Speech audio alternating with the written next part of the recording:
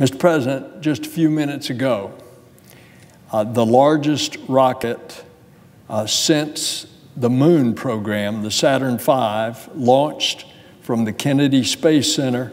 People across the world saw it on TV as well as over the internet. Thousands of people lined the beaches at the Kennedy Space Center.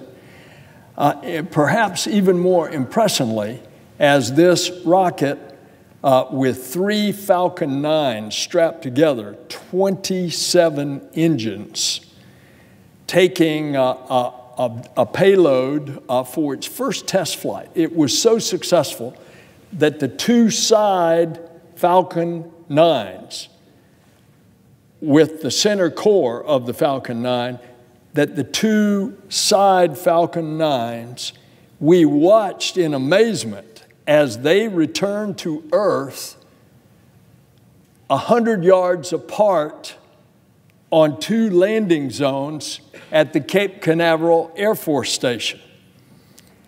At liftoff, the Falcon Heavy generates 5 million pounds of thrust it's twice as powerful that we have as any other rocket currently flying. And especially with the ability to land and reuse the boosters, it promises to be a very affordable way to get to space. The test launch of the Falcon Heavy is a spectacular demonstration of the comeback of Florida's Space Coast and of the U.S. commercial launch sector, which is succeeding in a big way. Last year, we tried, we tied the all time record for the number of U.S. commercial launches. That's good news for the civil space program. It's good news for national security. It's good news for employment in the U.S.